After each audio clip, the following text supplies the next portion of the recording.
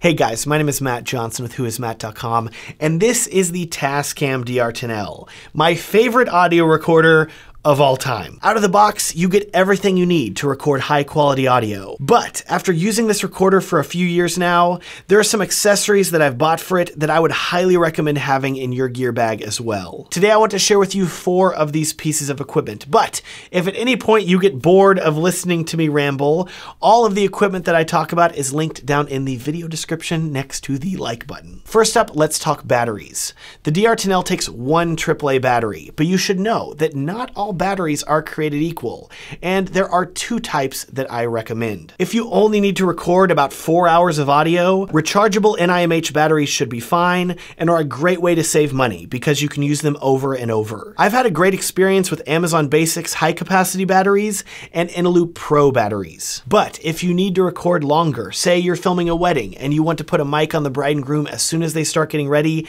and not take it off them until after the ceremony is complete, which could be half a day or longer, in that case, I would highly recommend investing in lithium batteries. I've been using Energizer lithium batteries when filming weddings, and these last an entire wedding day easily, recording 10 hours straight or longer. I've never had one die, they're amazing. The only con is that these are not rechargeable, so I replace them after every wedding and use the partially used one in electronics around my house. Moving on, let's talk replacement parts for the DR10L. Specifically, I see people online fairly often asking for help because the lapel clip for the stock lav mic the recorder comes with gets broken or lost. Surprisingly, Tascam does not sell a replacement lapel clip for the DR10L. I've looked everywhere.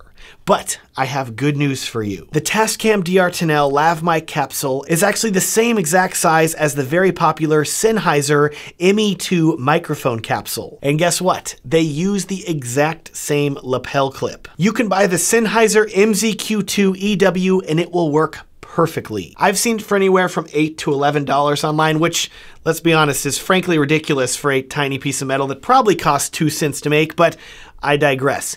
Having this in your bag as a backup can be a lifesaver if you manage to lose it or break it when you're filming. Keeping on this lapel clip theme, let's talk about the third accessory that I recommend for the DR10L. Sometimes you'll be filming in a windy environment, let's say an outdoor wedding ceremony. In this situation, I would not recommend using the standard lapel clip the DR10L comes with, because then the mic is going to be directly exposed to the air. Instead, I would recommend investing in a set of Rycote stickies and overcovers. The way these work is instead of using the lapel clip, they will let you attach the lav mic to a shirt or jacket, and these stickies are sticky enough to not come off. Then you take one of the overcovers and place it over the other side of the microphone. This helps insulate it from clothing rustle and results in even more wind protection. I bring these with me to every wedding I film. This brings us to the last accessory that I recommend for the DR10L, and this one has the potential to save you the most money.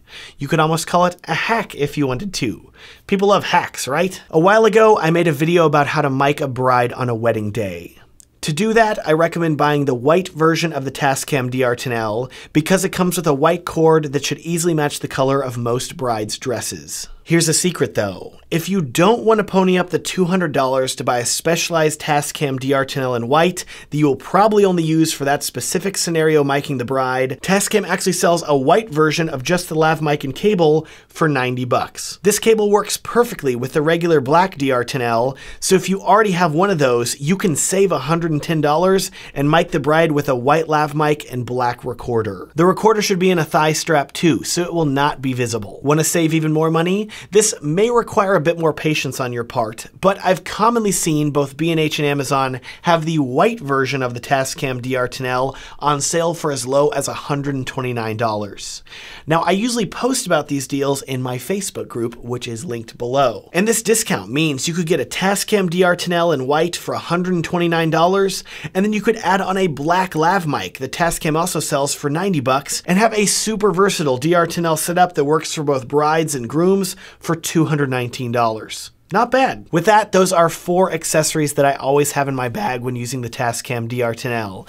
Thank you so much for watching. It would be a huge help to me if you would consider liking this video and subscribing if you want to see more videos for wedding filmmakers in the future. Also, if you happen to be a wedding filmmaker, you probably want to book more couples and film more weddings. To help you out with that, I've created a free guide that's going to walk you through some practical steps that you can take right now in your business to book more couples and film more weddings. It's a completely free gift to you. You can download it at the link down in the video description. Thanks so much for watching and have a great day.